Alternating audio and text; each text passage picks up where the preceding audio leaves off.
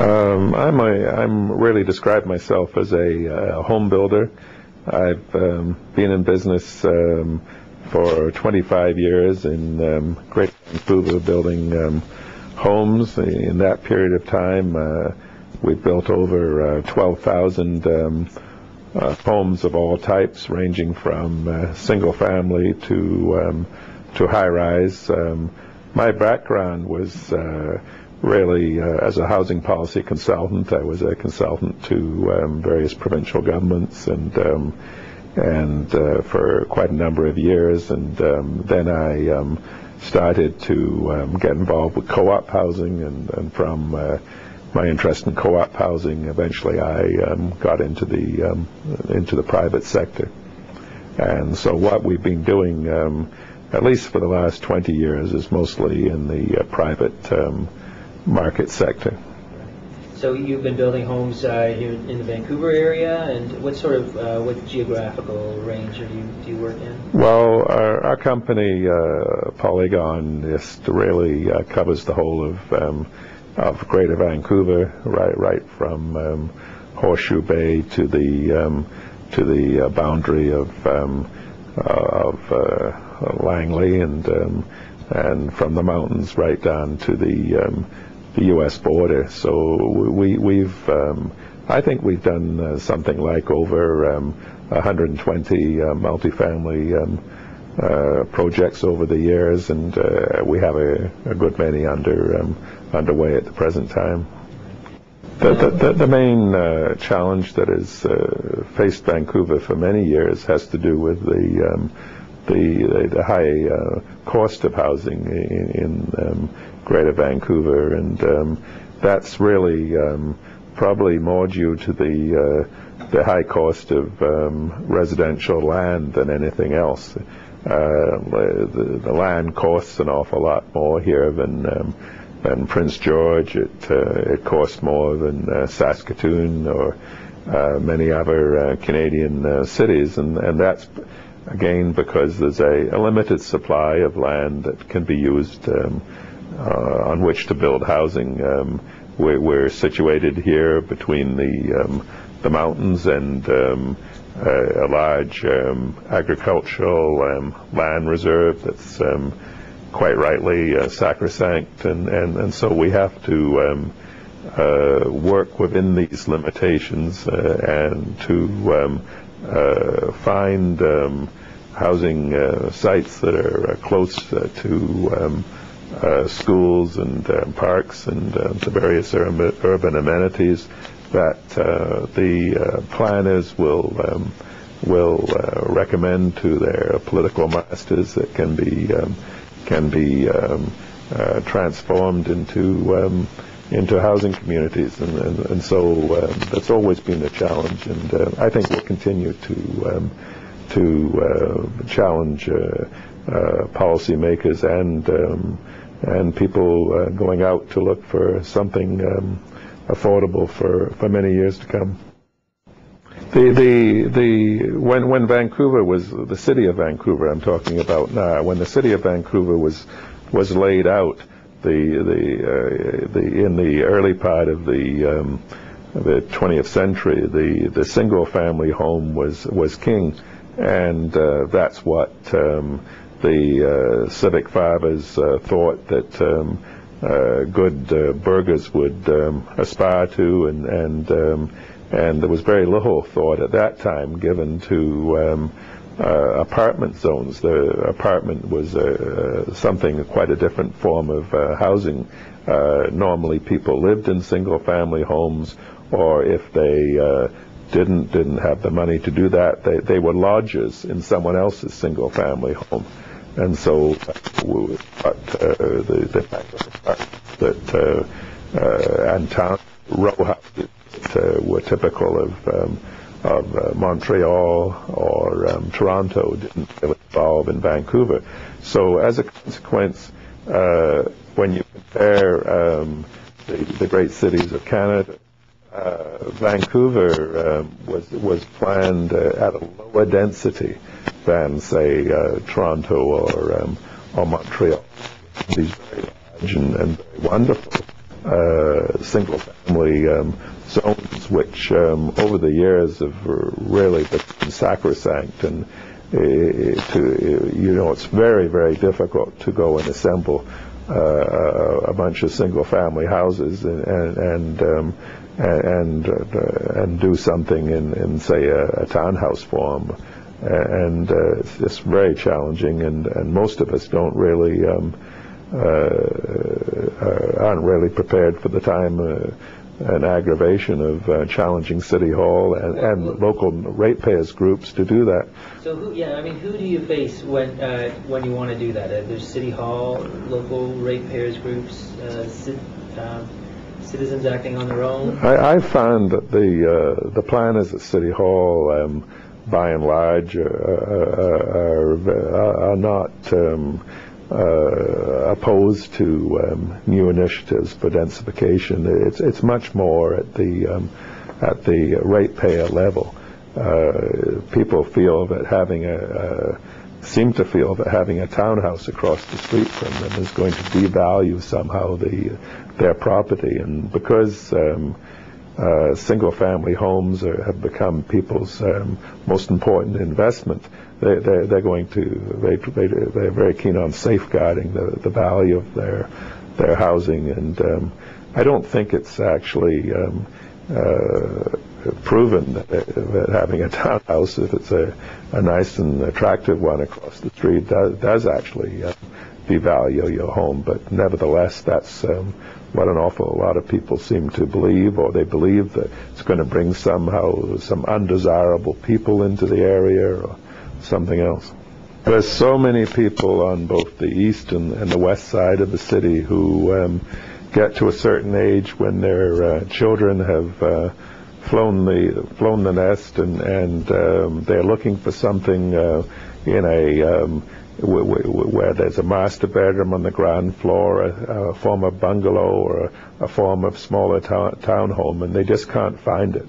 They don't necessarily want to live in a um, high-rise apartment, but they would like something of a lower density, but and smaller and easier to take care of than what they uh, have. So, um, as a consequence, they um, they tend to come out and um, uh, and buy um, homes from us in um, in uh, White Rock or in Langley or somewhere else where uh, actually they might be uh, prefer to be living in the city of Vancouver. Well, I, do want to say that I think uh, Vancouver has actually done a marvelous job, uh, particularly um, in the downtown area and in and around False Creek in, in redeveloping um, uh, former industrial um, land for, for housing, and, and it's uh, created a, um, a, tremendous um, city life in, in, in, the downtown area, and, and uh, we're the envy of an awful lot of um, other North American cities in, in that respect. However, at the same time, uh, I do feel there are um, other industrial areas that could be developed uh, for housing, and, and uh, and perhaps um, some of the other um, communities in, in Greater Vancouver have um, gone more in that direction. For instance, uh, uh, there was recently over 200 acres in um, a, along the um, U Rapid Transit line in um, Burnaby, uh, rezoned from industrial to uh, high-density residential. Burnaby's done a magnificent job of um, uh, of kind of redeveloping their their um, industrial land to to take uh, more population as part of the regional growth plan. Burnaby has four town centers and 13 what they call urban villages, and they, they I, and there's a tremendous um, vitality to um, what's been going on in, in Burnaby. It's uh, for a while it was the Metrotown area, now it's the uh, the Brentwood area is uh, undergoing um, a lot of densification, and at the same time the um, the city of Burnaby is putting in uh, a lot of parks and libraries and uh, municipal facilities and commercial to make the whole thing a, a very vibrant um, area. And and I think um, there's parts of the, the, Greater Vancouver where where that could be accomplished too. I'm thinking particularly of the um, industrial land along the um, on the, the south uh, edge of the city along the Fraser River. Some of that's already been um, de- developed for residential, but there's lo- lots more capacity.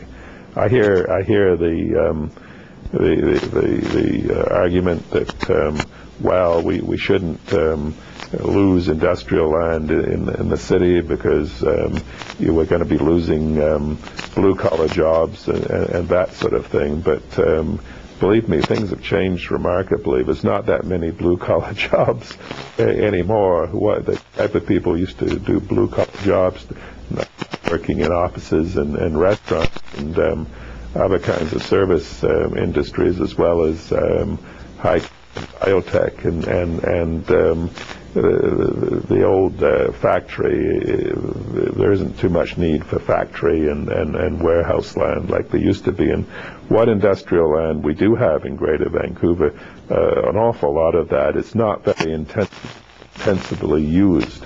It, it, there could be much more. Um, if the value was higher, there would be more intensity there. So I, I think that there's a the whole area um, to the um, east of uh, False Creek is another area where uh, which has been rezoned to accommodate uh, high tech. I, I think there's a tremendous opportunity there to um, to uh, have an integrated community of, of uh, live work of people in the um, in the new um, high-tech uh, professions, but along with housing, along with um, service and, and residential, and, and most importantly, also uh, including uh, uh, some uh, new cultural um, facilities such as art galleries and that sort of thing. Well, I, I think there's ways of integrating um, different types of uh, housing in family areas, and I'm, I'm thinking right now of a um, development that uh, we still have under construction called uh, Churchill Gardens. It's all in South Vancouver, and th- there we have uh, surrounded by single-family homes. We have uh, townhomes, we have large townhomes, we have small townhomes, and we have apartments.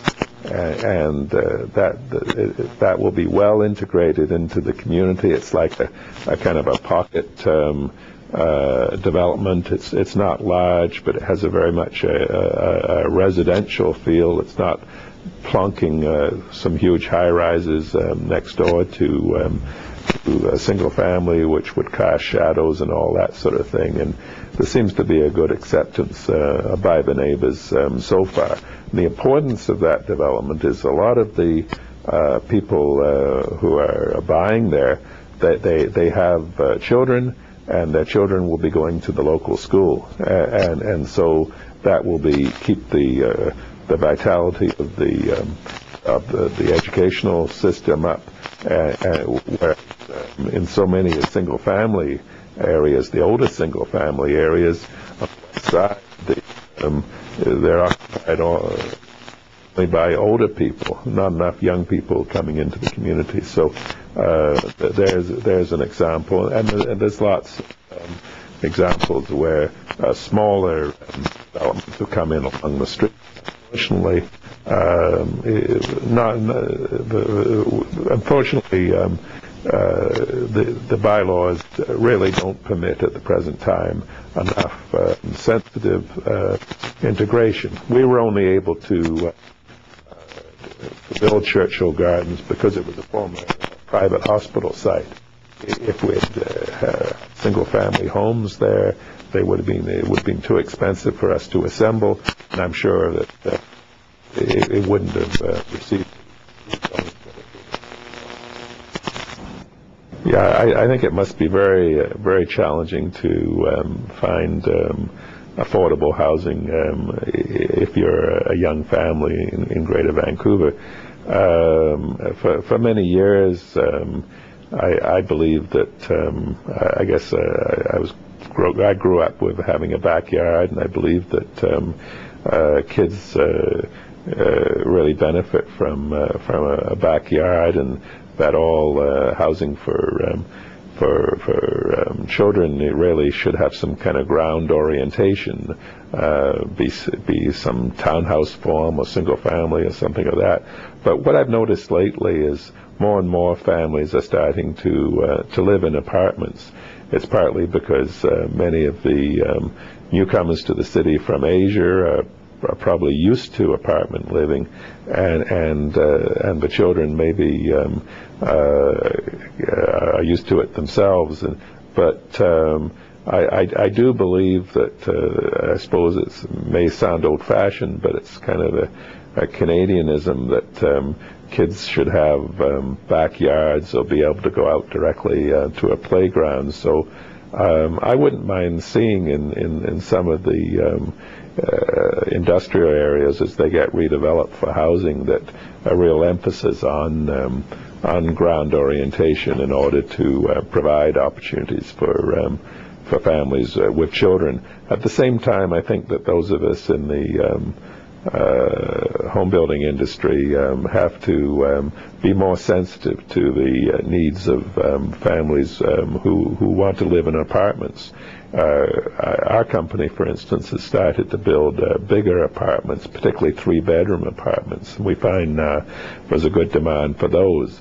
Uh, we, we, we, will have to um, maybe put in more, um, instead of just the De Rigueur Health Club, we've got to put in uh, amenities in, in the development that respond to the needs and interests of children, such as uh, tot lots and um, and uh, playground, mini playgrounds, and um, and, and, those uh, sorts of things. I don't know, maybe even uh, games rooms and and that, and, and and so we need we need to kind of plan the the the, the high density buildings more to accommodate uh, families than we, we would have done a few years ago. Well, those those families are always changing, though. I mean, they might move in with some, uh, you know, elementary school children, and then five years later, you've got high school children. Um, do, do, those families, do they come and go out of these uh, sites, or, or, do you try and build it so it can accommodate really all different ages and stages? Well, uh, we also have to think of the three generational. The Asian family is often three generational, and so we have we have to think about them too. But um, one one thing I have learned that um, people no longer seem to have the idea that they're going to buy a home and, and live there throughout the whole life cycle. Uh, seem, seems to to me that that notion uh, of our, our, parents or perhaps our grandparents has, has changed, and that um, as people go through their life cycle, they they um, they link up and, and have a family, or they the family splits up in some way, and uh, uh, that their accommodations need changes, and, and, so they will go through a number of homes during their their life.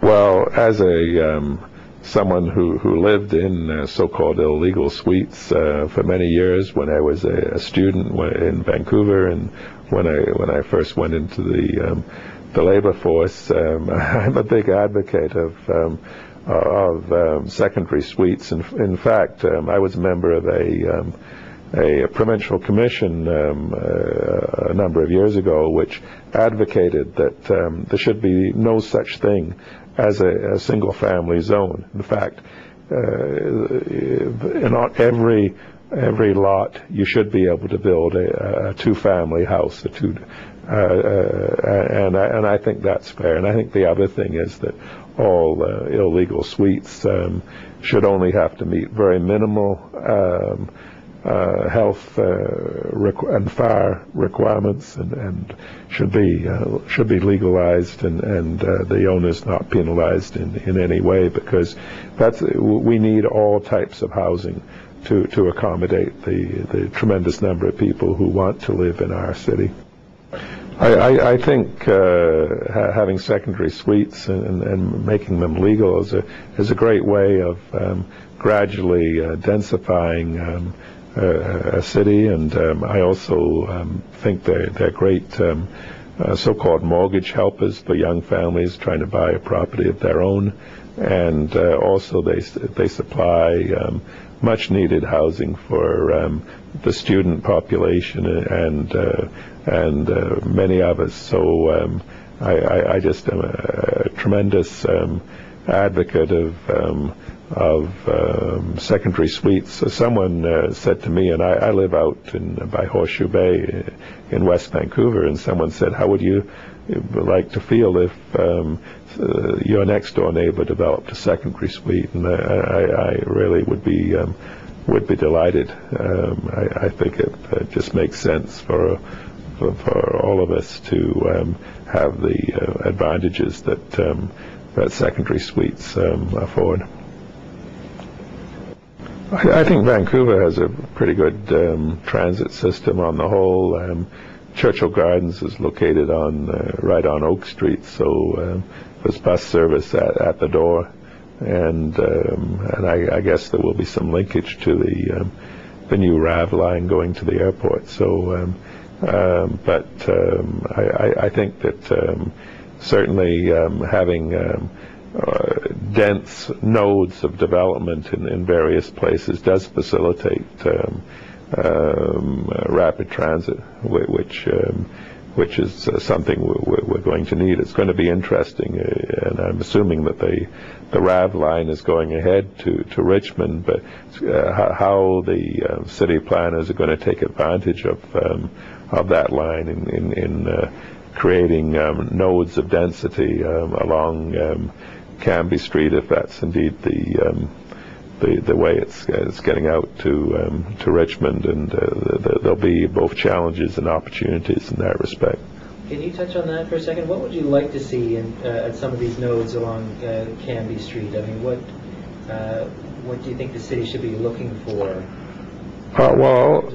I, I, I, th- I think there are tr- just tremendous opportunities. Uh, say the whole um, um, Oak Ridge area is, is one area that um, a lot of parking lots there, and, and uh, there's a lot of um, potential for uh, developing um, a, a kind of a uh, urban village at, at that uh, location, and then I'm sure there are others. Uh, I don't think the uh, the Victorian architecture i- is the the problem. Um, I, I have a personal preference for living in um, in as close proximity to nature as, as I can. That that's just my preference.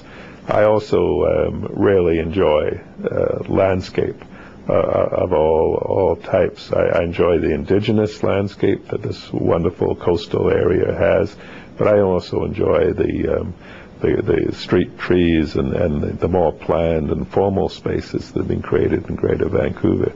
I, I think you'll find um, in multifamily development there are many opportunities for, for landscape. In, in term, I, I'm not sure about uh, the green roof concept, but I can tell you that there's, there's nothing, uh, absolutely possible and even desirable uh, to create um, uh, green terraces at various levels so that people can have direct access to, to landscape and sunshine and and the elements and, and, and everything else. So I, I, I'm very interested in in that. Um, but um, uh, I, I, I do have to uh, say though that um, you know compared to an awful lot of other cities in North America, um, the, the the city planners here have done a marvelous job uh, of um, of uh, landscape in connection with uh, the urban form. Um, I go to um, to to Calgary. I go to Dallas. I go to a lot of places, and they're they're, they're, they're totally barren compared to uh, what we have in this um, this great province. Can you think of a specific example of that? Uh, you you, talking about sight lines from uh, from False Creek to the mountains, or um, what? I'm thinking about some of the the the say the uh, the large multifamily, uh, the, I should say, high-rise developments uh, uh, situated along Georgia Street. How, what wonderful edges many of them have in terms of um, of landscaping with with uh, water features and and all that um, sort of thing, and uh, and that that's really marvelous. You know, there's a whole uh, greening of, uh, of Georgia Street was set out as a, a target um, uh, 15, 20 years ago, and it, and as someone who drives along Georgia every, every morning, I, I, I, just uh, enjoy it and see how the seasons um, are, are um, interacting with the, the landscape, and uh, and uh, it, it's it's wonderful to have a city city street like that in our town, and, and there's lots of more opportunity to do that. Well, I, I think the uh, our, our industry, the home building industry in Vancouver, is becoming a, a great deal more interested in uh, sustainability of all types, and uh, certainly our company we're, we're looking at. Um, uh, and studying how, how to make our buildings more sustainable. As an example, what we're doing, we now are, are inserting a, a, special section on uh, sustainable features in our um, in our marketing brochures for the first time, and and, um, uh, and as we go forward, I, am sure that we'll be incorporating more um, sustainable uh, uh, features in, in in the buildings. We're already um, uh, pioneered a lot of the work on uh, stormwater management to, to cut the um, runoffs, and uh, we already uh, have uh, introduced new materials and, and, and that sort of thing. But we, we, certainly um, see that as a, a, whole area of um, of interest, and, and we will be participating um, in in that because um, I think consumers now uh, uh, are interested in um, in uh, lessening the impact um, on the environment, and, and that's uh, we as a builder certainly um, have that as an objective ourselves. Have You met um, in, in, terms of some of your projects. Are you working towards the uh, LEED certification, LEED standards? Yes, uh, so, so, some of our our senior staff here are already LEEDs have taken the courses, already LEED certified themselves. In fact, um, uh, we we uh, we're also studying um, doing um, certain buildings to um, to uh, meet those um, standards. I, I, I, think that uh, there's still a lot of opportunity to redevelop um, industrial land for, for housing. And, uh, the, the, there's the marvelous um, urban destination that is being created around uh, False Creek. That, that needs to be completed. The, the whole of southeast False Creek is, is still sitting there. Um, but there are other areas in the, uh, in the city where the industrial land uh, needs to be studied can it be used more efficiently than it is uh, being used today? And um, can, can some of it be um, developed for um, residential and residential that uh, will um, meet the needs of, of the community if it's uh, and, and in that regard I, I would particularly like to see family oriented housing um, uh, as a priority for um, uh, the, the, city. We, we have a tr tr tremendous lot of uh, high-rise apartments, which meets the needs of uh, single people, young people, elderly, but what about the needs of um, people with, with, with, children? And I'd like to see a focus on that in, in, in as we go forward to redevelop the industrial areas, as other um, communities in uh, municipalities in Greater Vancouver are, have done and are, are doing.